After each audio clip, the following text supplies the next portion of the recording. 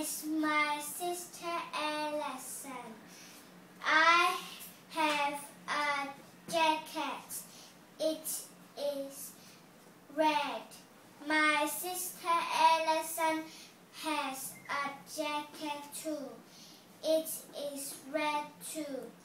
I have a skirt. It is black.